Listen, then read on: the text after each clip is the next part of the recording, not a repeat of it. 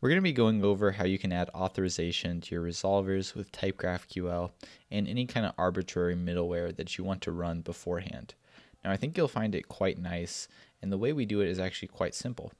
So for example, if we want to make a field or a resolver authenticated or authorized, we can add this at authorized decorator to it. Um, and we can also pass parameters to it. For example, if there's different rules that we want to pass in, or make sure that the user has to actually consider them authorized, we can. So let's go ahead and add this to our program or our code. So the, the uh, resolver that I want to make authenticated or authorized is this hello resolver. So I'm going to add authorized to it. Now we don't have different roles right now, so I'm just going to do the default. Now we need to actually add the logic to check whether the person is authenticated or not or authorized. So to do this, we're going to head over to the index file and we're going to be adding something to the build schema command. So if we scroll down a little bit, we'll notice how we can actually implement this. We can add a auth checker um, and the auth checker is a function that looks like this.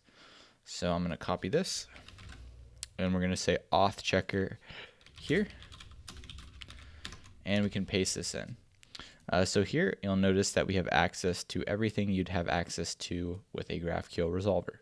So we're going to get the root, the arguments, the context, and the info for the resolver in case that's relevant to anything we want to check. In this case, we don't really care about some of these things. We do care about the context though, because the context is going to have whether the user is authenticated or not. And the roles, as you can see by the comment right here, is going to have whatever the user passes in. Uh, well, not the user, but us, whatever we pass in here as the role. So again, we're not going to use roles right now, so we can get rid of that. So in our context, we know that we have a request object, and we want to check the request object to see if it has a user ID on it. So we're going to say request.session.userid. So if that exists, we're going to return true the user is authenticated or authorized to do the action. Otherwise, we're going to return false. Now you can add more checks in this if you want. For example, if you want to do role based, you could do uh, some if statements, fetch the actual user itself, and check any kind of role you want to. But for us, this is all we're going to need for a single is the user actually logged into our website or not. Uh, we can just check whether there's a user ID in the session. Also, if we want to simplify this a little bit, we could just say return request.session.userid. And we could cast it to a boolean. So if it's undefined, this is going to return false. Otherwise, if a string exists, uh, we're going to return true. All right, so let's give this a try. So I'm going to save it. I have my server up and running. And if I come over here to my playground, you guys will notice that I'm logged in. We can go here to me can see that I am Bob2 right now. So I can try accessing hello. So access it and we get get it no problem. Now we haven't actually implemented logging out, but we can log out by getting rid of our cookie. So I'm going to click clear all here. Uh, now it's gone. Go ahead and click this. And so this is me trying to access it without a cookie or without being logged in. And you'll notice we get an error, access denied. You need to be authorized to perform this action. So this is the default error message that comes with Type GraphQL um, and we can basically customize this if we want to. Uh, but what, what I wanted to show you is there's another way we can do this similar thing um, that I found I like a little bit better. So this is how you can use the at authorized decorator. Um, but I kind of like having multiple different kinds of authentication decorators that I can add to stuff. So I found middleware is where I tend to just create a kind of similar way of doing it. So how we can do middleware is like this. So we can create a middleware function and I think they have an example here. We can add the decorator, use middleware, and we can pass in whatever we want. So not just authorization stuff, but for example, logging or uh. They're here. I think they're checking how much time it takes to actually the resolver to run. So that could be handy.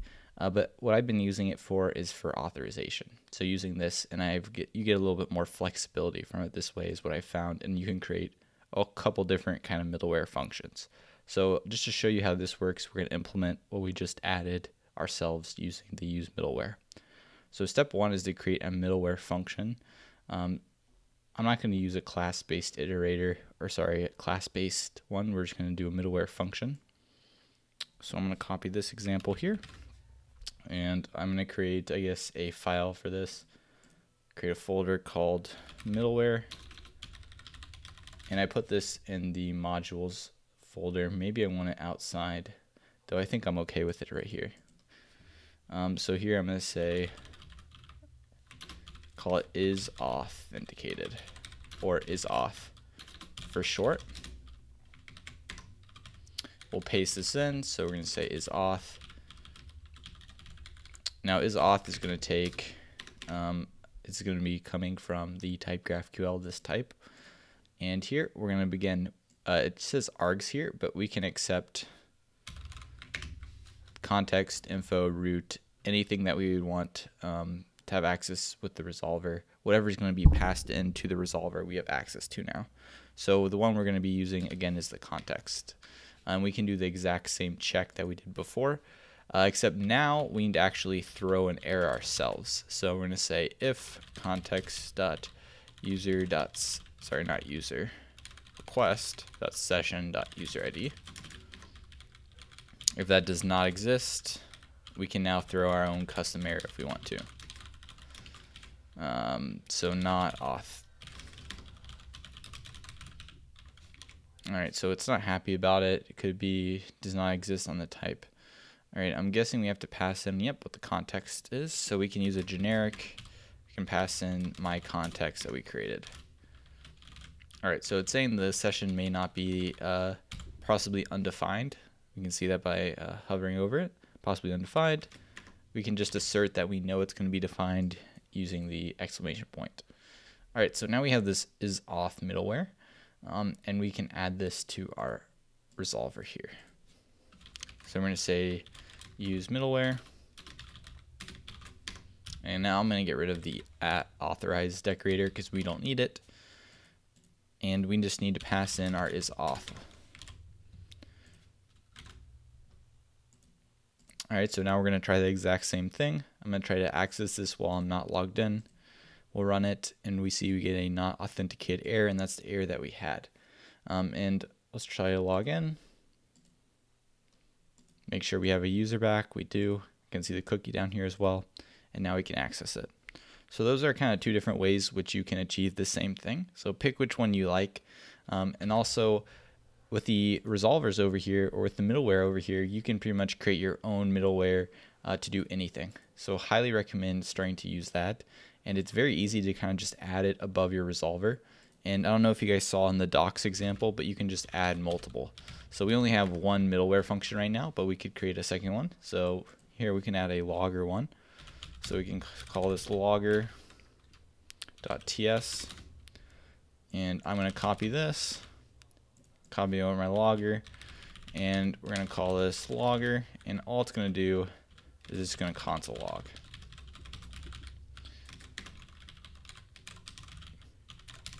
I'm to log the args. I guess in this case we don't actually have any args, so this is kind of a pointless uh, for our our hello one, but we could add it to register, for example, maybe. But then we don't even want to uh, log that. All right. Uh, the other thing I didn't mention about this, which I should mention, is that we need to call next at the very end here. Uh, so this just calls the resolver itself, or the next middleware if you have multiple middlewares. So make sure you have that at the very end.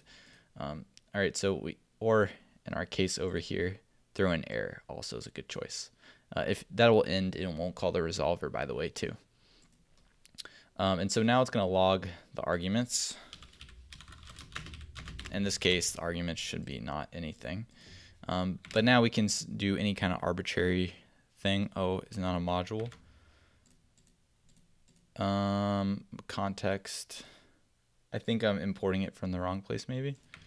Nope, looks good. Just gonna restart it and see if it's still there. All right, yeah, looks like it's good now.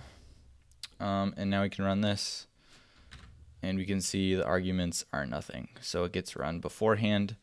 And uh, I believe is auth should get run first and then the logger, but I'd have to double check the docs but I believe that's the order.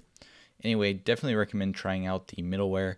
Uh, I'm really liking the basic API for it. It's been really easy to add. And also I like the idea of just adding decorators like this. It's really easy to do.